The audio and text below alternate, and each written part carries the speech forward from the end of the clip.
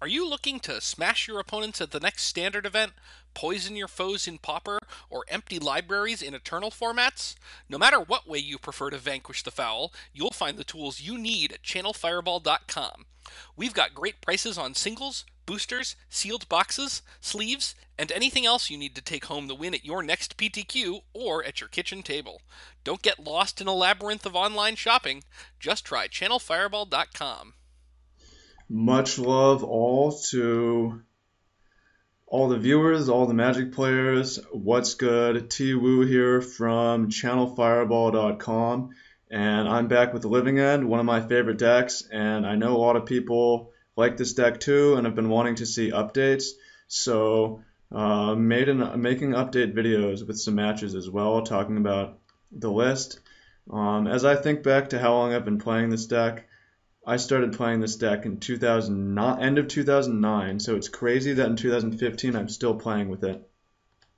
And the deck list has become more and more refined over time, and I think back to the earlier builds and how basic they were, and really Pale Recluse changed the deck. Like, in my mind, the spiders just win games. They're so big, they block flying creatures, they block affinity creatures, they're bulletproof.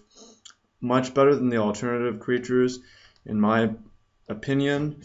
And um, I've been really liking Simian Spirit Guide to help smooth this so that we can cast uh, Cycle Pale Recluse turn one if we need to.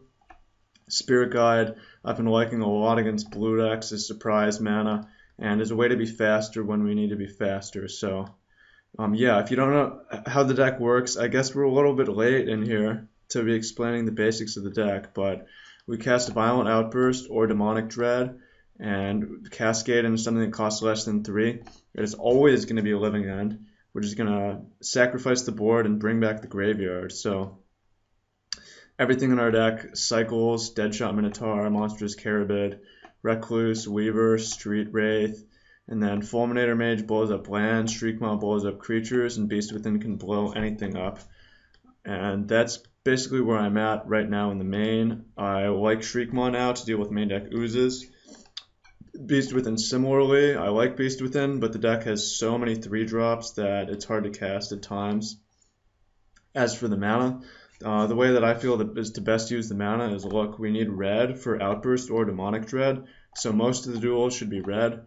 We'll naturally generally draw a red dual, and then Verdant Catacombs can fetch for a basic swamp or forest, or red dual if we need to, but this gives us the most pain-free options, so that's the main. Um, I like Groves because I like to play this as a control deck, but you can play a third.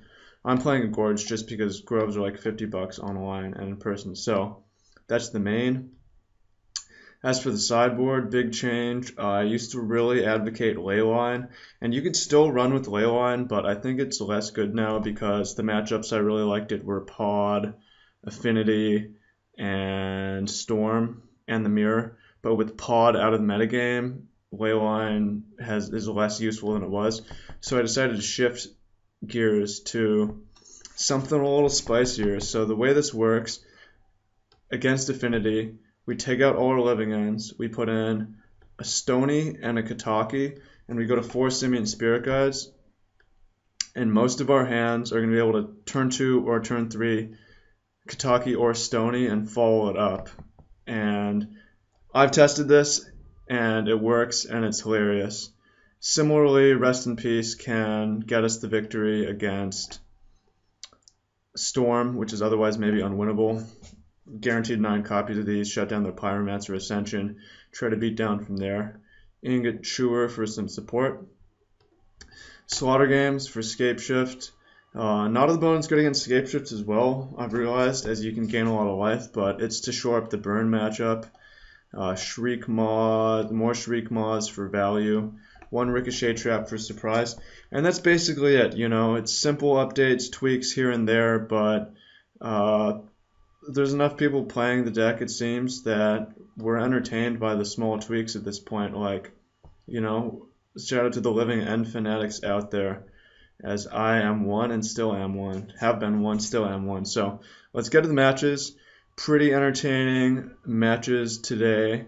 Um, and there's a lot of fun matchups in the field as well that we didn't get to today. So hey, maybe follow it up with some more, uh, another video set depending on demand. So let me know what you think in the comments. Peace, much love as always. Let's get to it.